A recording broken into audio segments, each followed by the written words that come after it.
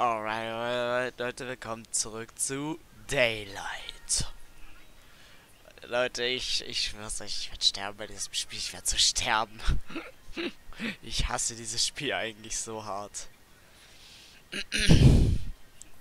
Ich frage mich, warum ich das jetzt gerade spiele. Ich werde vergehen bei diesem Spiel. Ich werde da schon mehrere Folgen davon drehen, keine Sorge, aber auf als eins geht auf jeden Fall klar, ey.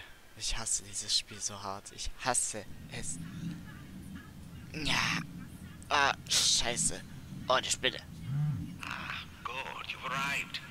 Sarah, focus. You haven't much time at all. They've been busy. They certainly have. Use that machine in your hand to find your way. There's much to see, much to learn. Where am I? Alter. It's been some time now. This place has been waiting for your arrival. Gather up everything you can. The memories contained within these walls are waiting to be found. Sarah, listen to me. You must succeed. Oh no. Der Typ sagt zu mir, ich muss es schaffen, aber dabei weiß der gar nicht, wie unheimlich das für mich eigentlich ist. Häftling 52 hat offenbar Visionen von Schattenmenschen, die anwesenden Ärzten versuchen fortlaufend konventionelle Therapien, aber ich glaube, wir müssen uns um neue Prozeduren Gedanken machen, die unseren bisherigen Erkenntnissen neue Anstöße verleihen. Ah, Sarah, no matter where you go, there you are. Egal wo ich hingehe, da bin ich. Ah ja. Weißt du eigentlich, wie unheimlich das für mich ist? Mit Island Haftanstalt bekommt neuen Chefarzt 5. Februar 1907. Die Mead Island Haftanstalt hat vor kurzem den Namen ihren, ihres neuen leitenden Arztes verlautbart, Dr. Walter Mercer. Er ist als früh führende Persönlichkeit der Pocken- sowie Tuberkulose-Forschung bekannt. Neff Kipling freut sich, einen so talentierten und leidenschaftlichen Rekruten, der bereitwillig den Kampf um die Gesundheit äh, dessen Bürger aufnimmt, an Bord willkommen heißen zu dürfen. Wenn die jetzt hier so eine coole Anstalt haben, ey, beziehungsweise wenn die hier wirklich, keine Ahnung, so gut hier mit den ganzen Ärzten und so weiter klargekommen sind. Was ich da nicht verstehe ist, wieso ist es so weit gekommen, dass sie jetzt so heruntergekommen ist. Ich meine, hier sieht doch alles verschimmelt aus, hier sieht alles schlecht aus. Selbst die Wände sehen ja demoliert aus. Die Kartons sind irgendwie verschimmelt, ich weiß auch nicht. Das ist doch nicht mehr normal. Zwei Briefchen haben wir hier noch. Okay. Foto von einer toten Kuh. Das findet man ja immer gerne.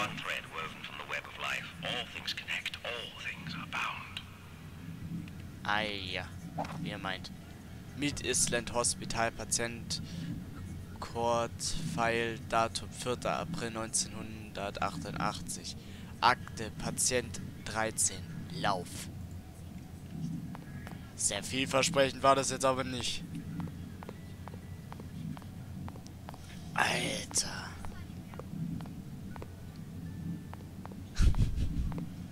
nee. Ich schwör's, ich würd mir nachher wieder so in die Hosen scheißen, wenn die erst wieder hier ist. So renn ich doch? Ja, so renn ich? Ja, genau. Ich muss immer den Finger schön auf der äh, oberen Taste haben, sonst werde ich nämlich hier nicht dieses Spiel spielen können, Leute, weil ganz ehrlich, ich muss voll wegrennen von dieser ollen, ey. Gott, diese Mochel.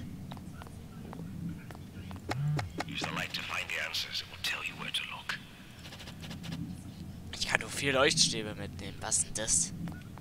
Oh nein. Ich habe Angst. Aber hier geht's nicht weiter. Ich habe noch einen Zettel wetten übersehen, oder kann das sein? Welchen Zettel habe ich hier übersehen? Zum Bürste sind fünf oder so. Fünf oder sechs Zettel. Oh, ich muss mich mal nochmal genau hier umsehen ob ich irgendwo einen Zettel übersehen habe. Das Ding ist, hier ist der Eingang. Hier waren wir ja schon. Aber hier scheint weit und breit nichts zu sein. Ich weiß auch nicht. Jetzt muss ich mich darauf konzentrieren, dass ich es irgendwie hier rausschaffe. Unangenehm.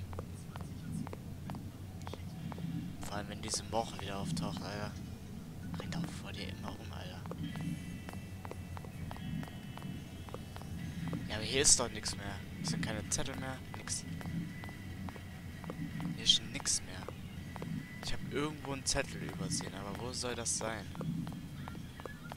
Ich glaube, wir können auch ewig so weiterrennen, kann das sein?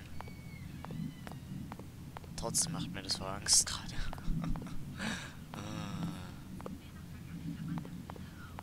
Ah, scheiße. Wo ist denn hier noch ein Zettel? Hier ist doch nichts mehr. Kann ich hier die Dinger aufmachen? Nö. Natürlich nicht. Ja, dann soll ich doch hier irgendwo jetzt reinkommen, oder wie ich?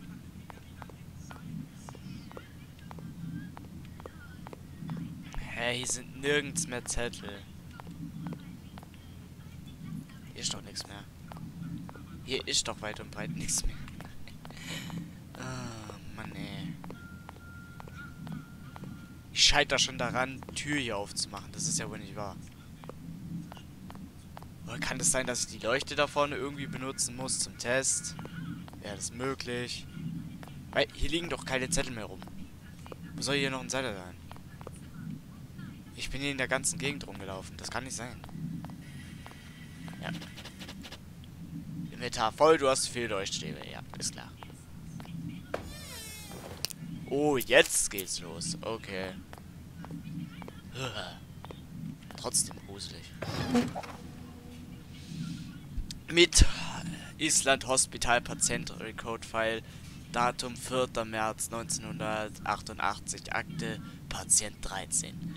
Die Patientin Alter 10 Monate vorher wurde von ihren Pflegeeltern aufgrund seltsamer und beängstigender Zwischenfälle, die kurz nach ihrer Einlassung aus dem Krankenhaus auftraten, wieder eingewiesen.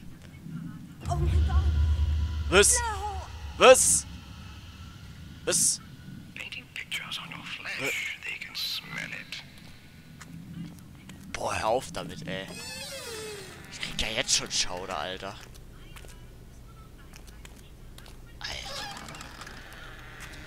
Vor allem, wenn du dann immer Angst haben musst, dass hier irgendjemand rum ist, Alter. Boah.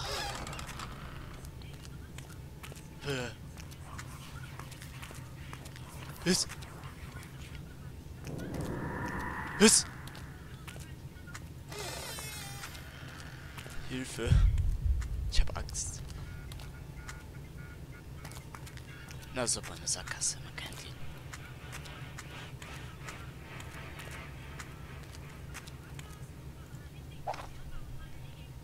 Mit Island House, mit Hypercent Record File, Datum 9. April 1860. Akte Patientin 06-B. Mr.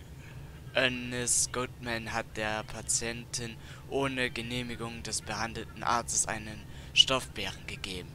Mrs. Goodman wurde verwarnt und bis auf weiteres von der Kinderstation einem anderen Bereich zugeteilt. Oh Scheiße. Sag bloß, die hat ihre Regeln gebrochen. Natürlich brech halt einfach die Regeln, I know there's somebody here. Madame. Was?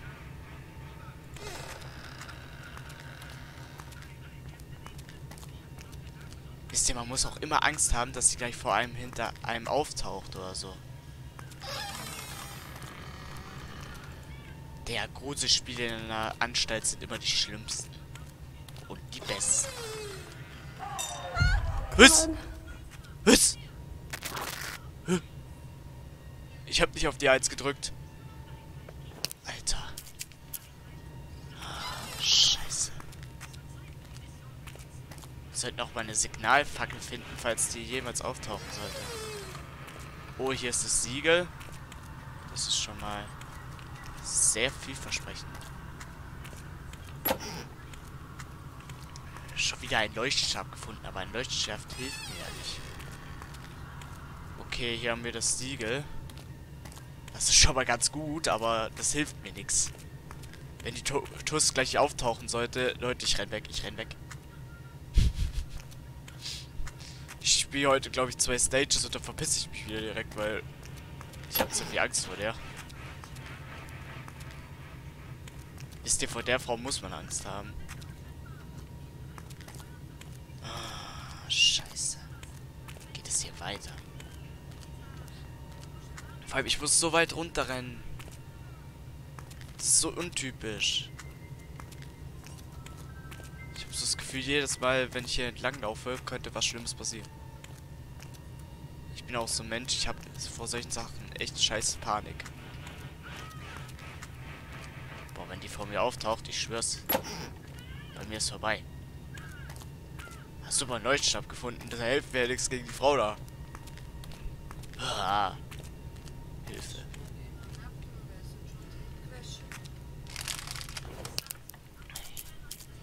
Ich mach's nach meiner Aufnahme. Davor muss ich aber zu. Hello? Dann esse ich die ja jetzt Nachtisch. Alter, leckfett. Sche Scheiß Mobbing-Spiel. Mach ich. Adam. Adam.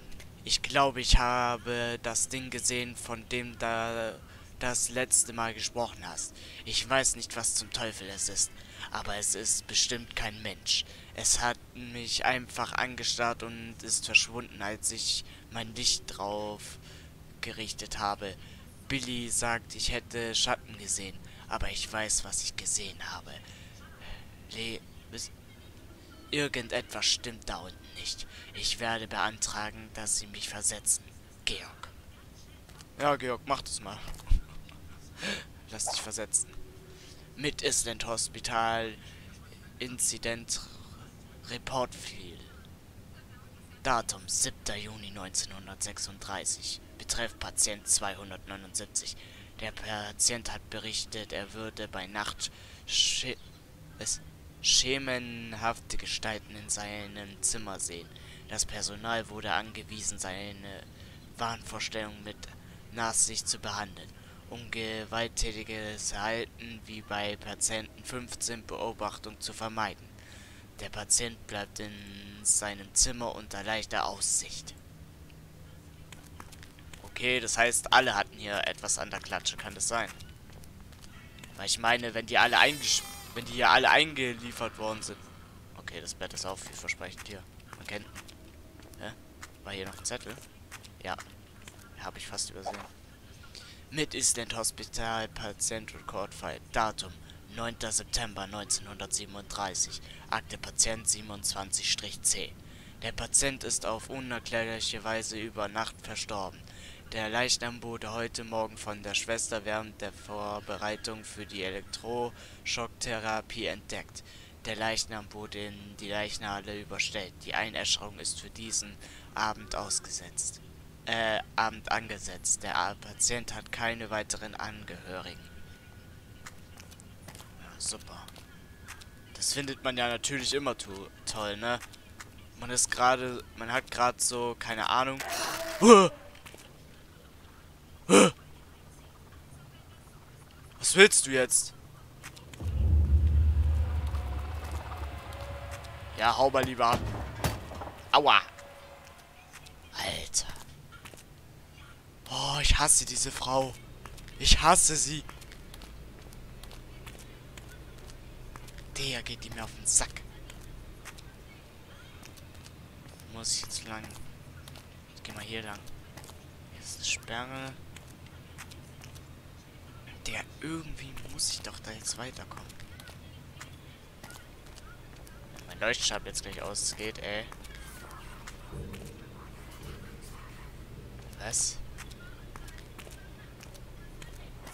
Warte mal, ich bin da oben noch nicht lang gegangen.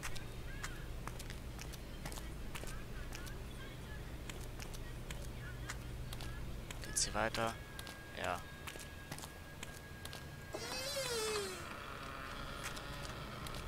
Mach eine neue an. Mach eine neue an. Ich will nicht alleine sein. They were in flames, Sarah. Use it to your advantage. Dr. Mercer. Pflegerin Pflegerin Forster hat sich darüber beklagt, dass Krankenwärter William Fa Farish manchmal stundenlang während seiner Schichten verschwindet. Und wenn er wieder auftaucht, sind seine Hände und Hosen so schmutzig, als hätte er Dreck, äh, Dreck gegraben. Wenn sie ihn darauf anspricht, macht er einen verwirrten Eindruck und fragt, wo er sich waschen kann. Das ist die vierte Beschwerde innerhalb von zwei Wochen. Über Farish und ich fand, Angelegenheit sollte an sie weitergeleitet werden. Percy.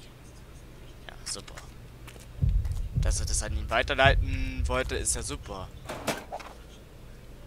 Mit Island Hospital Patient Record File. Datum 8. Äh, September 1937. Akte Patient 27-C. Der Patient ist körperlich gesund, sein Geisteszustand verschlechtert sich jedoch.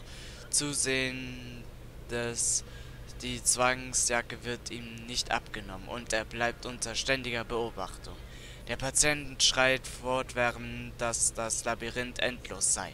Seine Schreie verhallen weder Tag noch Nacht und erreichen von tiefen, monotonen Gesängen bis hin zu fieberhaften schrillen Geheul.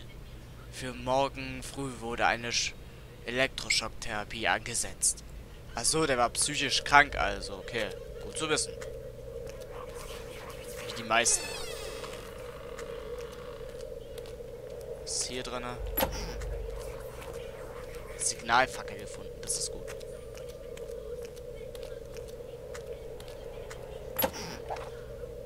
Geschichte von Neff Kipling.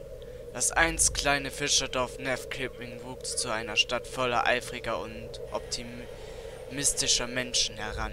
Die Stadt brauchte aufgrund von Überbevölkerung und knapper Ressourcen andere Wege, um ihre Einwohner zu versorgen.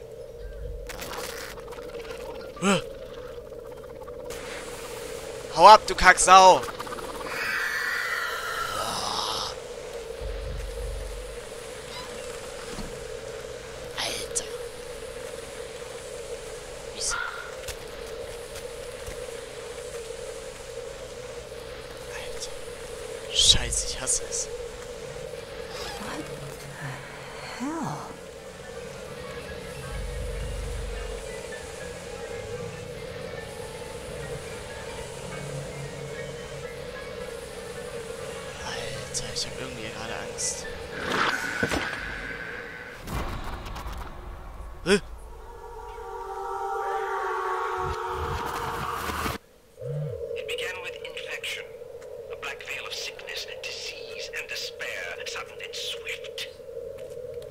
Muss ja wohl rennen, ne? Hä? Wo bin ich? Can it be?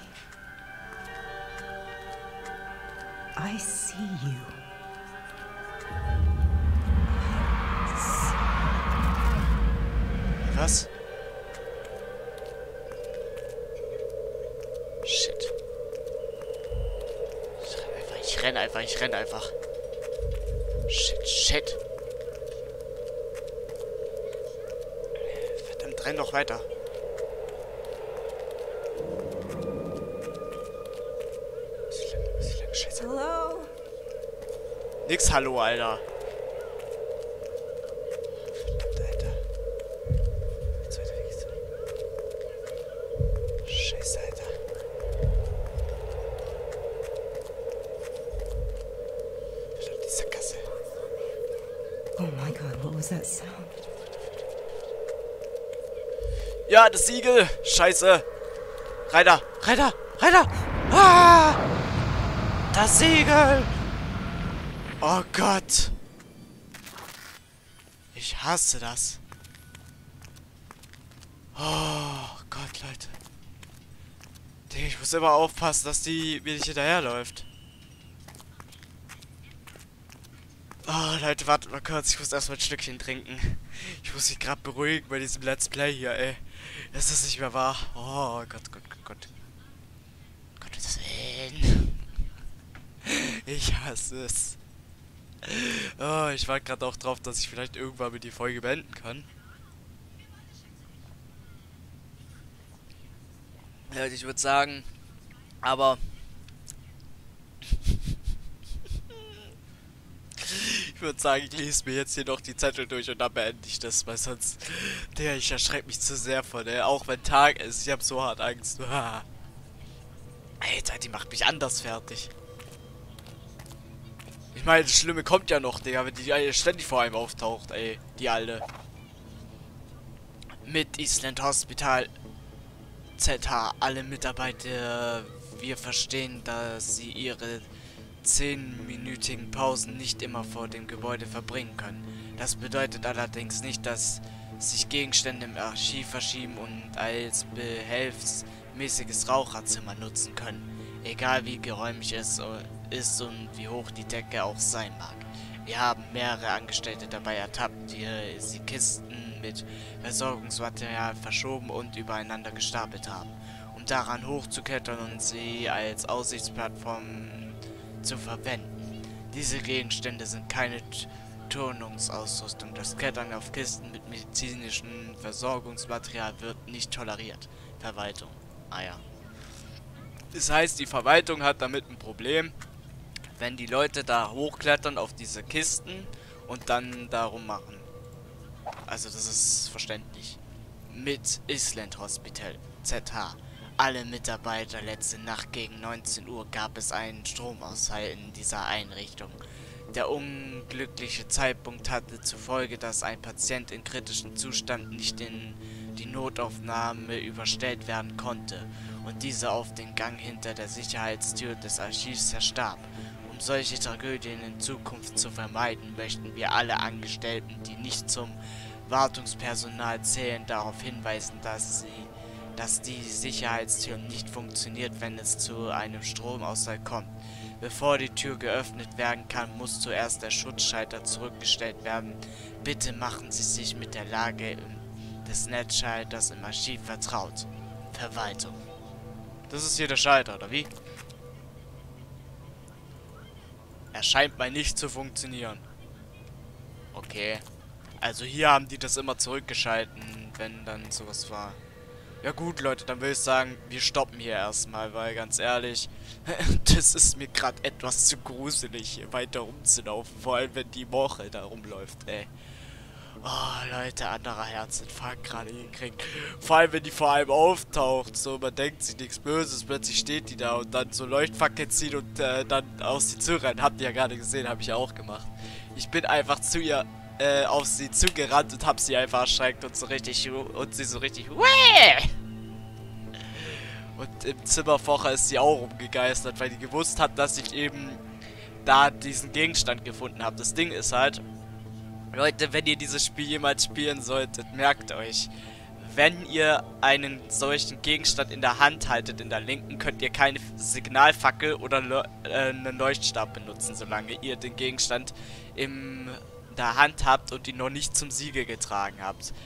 Beste Idee ist einfach, wenn ihr erstmal erkundet, wo das Siegel sich befindet und dann erst äh, den Gegenstand holt, weil das ist besser, dann wisst ihr wenigstens, wo ihr hinlaufen müsst. Ein bisschen die Gegend erkunden gehen. Ihr wisst schon, wie ich das meine. Und dann holt ihr euch den Gegenstand und lauft zum Siegel. Weil da lauft ihr nur verwahrlost rum und dann findet ihr euch irgendwann. So ging es mir mal, als ich es letztes Jahr gespielt habe. Das war anders eklig. Sie hat mich einfach gefunden, Leute. Sie stand hinter mir und ich habe darauf gewartet, dass sie irgendwann von selber abhaut. Weil ich wollte mich nicht umdrehen, ich wollte nur warten, bis die endlich mal weg ist. Die Frau hat mir anders Angst gemacht, aber gut. Ja, wie schon gesagt, Leute, ich würde sagen, wir stoppen hier an dieser Stelle lieber, weil ich habe äh, keine, ich habe keine Lust, dass ich hier jetzt noch, keine Ahnung, Herzinfarkt krieg. Und ja, Leute, ich hoffe, euch hat es wie immer gefallen. Gerne Abo-Button und Glocke aktivieren, um nichts mehr zu verpassen. Auch gerne einen Daumen nach oben da lassen, wenn es euch gefallen hat, Leute. Weil da muss man ziemlich Eier haben, das Spiel zu spielen. Ich meine, das ist jetzt zwar die erste Folge von vielen, aber Leute, keine Sorge, ich werde das entweder nächste Woche noch so wieder am Wochenende spielen oder halt in der Laufe der Woche irgendwann mal. Werden wir das noch weiter verfolgen hier im Spiel. Aber fürs Erste reicht's mir, Leute. Ich würde mich auch gerne über einen Kommentar freuen, was ihr dazu zu sagen habt, Leute, wie das so ist und so weiter. Und dann würde ich sagen, bis zum nächsten Video, Leute. Peace.